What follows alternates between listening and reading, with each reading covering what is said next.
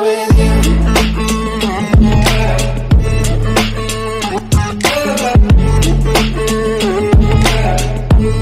हे मैं हूँ एल्बुक और स्वागत है आपका एक और शानदार सी वीडियो में। और गाइस क्या आप लोग भी बी आर रैंक में हीरो नहीं पहुँच पा रहे हो? तो आप बिल्कुल सही वीडियो पे आए, क्योंकि आज मैं आप लोगों को बताने वाला हूँ कि ऐसी कैरेक्टर स्किल जिसकी मदद से आप इजीली हीरो जा सकते हो बी आर रैंक के अंदर। भाई, ये super OP character skill combination होने वाला है।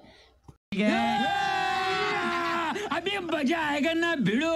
तो चलिए फटाफट से मैं आपको कैरेक्टर बता दे रहा हूँ कि आपको बी आर रैंक के लिए कौन से कैरेक्टर तो जो पहला हमारा कैरेक्टर आता है, वो आता है हमारा एक्टिव स्किल कैरेक्टर जो कि आपको चूज़ करना है के कैरेक्टर के कैरेक्टर एकदम बेस्ट है एक्टिव स्किल के लिए।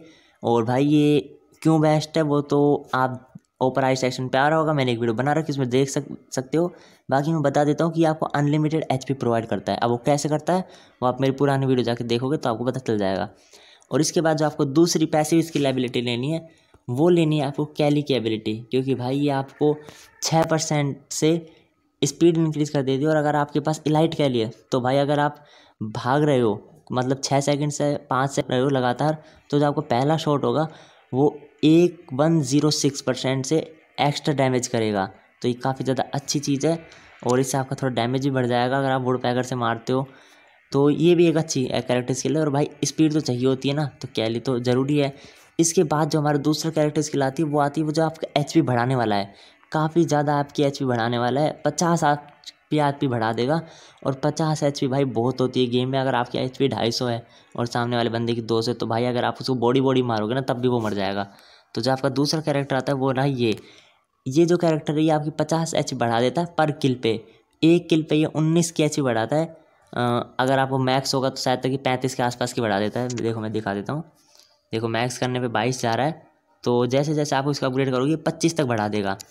इसके बाद जो हमारा लास्ट कैरेक्टर आता है, वो आता है आपका डी बी कैरेक्टर आपको डी बी कैरेक्टर चूज़ करना है, क्योंकि भाई ये आपकी एक्यूरेसी को मेंटेन करके रखता है और आपकी गोलियों को रिकॉयल रोक देता है। अगर आपका रिकॉयल रुक जाएगा तो भाई आपकी वुड पैकर की सारी गोली बंदे की बढ़ेंगी और भाई आपको पता होगा वुड पैकर की दो या फिर तीन गोलियों में बंदा वहीं ढेर हो जाता है, उठ ही नहीं पाता वो। और अगर आप ए सी चला रहे हो तो भाई दो गोलियों में बंदा समाप्त है। तो भाई ये काफ़ी ज़्यादा काम आता है और ये मूवमेंट स्पीड बढ़ा देता है जब आप फायर करते हो तो ये भी एक अच्छी चीज़ है। तो ये हो गया आपका character combination B R rank के अंदर पहला है। ये उन लोगों के लिए जो थोड़ा रश करके खेलते हैं और जो अगला कॉम्बिनेशन है वो है फुल्ली कैंपर्स के लिए। भाई मुँह की बात छीन ली। अगर आप कैंपिंग करते हो तो ही इसको यूज़ करना जो मैं अगला बताने वाला हूँ वरना आप ये यूज़ कर सकते हो ईजिली ये काफ़ी ज़्यादा अच्छा है। तो आप चलते अगले की तरफ़। जो हमारा अगला कैरेक्टर कॉम्बिनेशन है उसमें आपको के कैरेक्टर तो रखना ही रखना है। और जो आप अगला कैरेक्टर रखोगे वो भी आपका कैली एकदम सेम रहने वाला है। उसके बाद जो हमारा कैरेक्टर आएगा वो आएगा हमारा देखो। मैं आपको दिखा देता हूँ, रेफाल कैरेक्टर आने वाला है, जो कि भाई ये एक तो सत, सौ परसेंट बंदे को जल्दी मार देता है, नॉक होने के बाद, जो काफ़ी ज़्यादा अच्छी बात है, अगर आप स्क्वाड में खेल रहे हो या फिर डो में खेल रहे हो तो।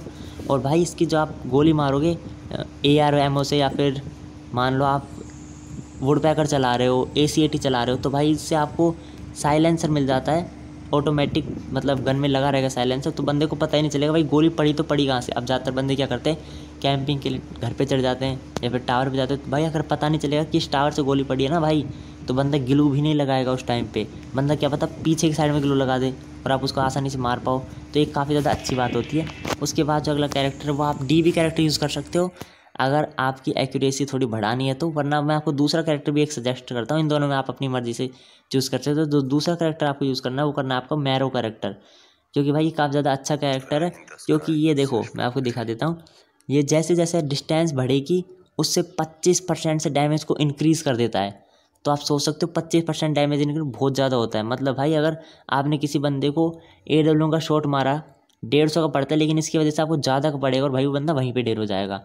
और अगर किसी एनिमी पे टारगेट आ रहा है, जैसे कि आपके किसी दोस्त के पास मोको कैरेक्टर है, और आप और उस बंदे पे वो आ रखा है मार्क आ रखा है मुको का तो भाई ये उस पर थ्री पॉइंट फाइव परसेंट से और ज़्यादा डैमेज करेगा। तो पच्चीस और भाई थ्री पॉइंट फाइव मिला के ये को टोटल तीस के आसपास चल जाता है। Three eight twenty eight point five तक पहुँच जाता है तो आप इसको तीस मान सकते हो इतना कोई दिक्कत नहीं है। तो भाई ये काफ़ी ज़्यादा अच्छी कैरेक्टर है कॉम्बिनेशन है आप इसमें मैरो भी यूज़ कर सकते हो डी बी की जगह तो भाई ये देखो ये हो गया हमारे कैरेक्टर स्किल जो मैं आपने आपको बता दिए। अगर आप इन कैरेक्टर स्किल को लेकर खेलोगे तो आप काफ़ी जल्दी बी आर रैंक पर अपग्रेड हो जाओगे और भाई आपको कोई दिक्कत नहीं आएगी। तो ये थी आज की वीडियो मैं मिलूँगा आपको अगली वीडियो में। तब तक के लिए बाय बाय गाइज़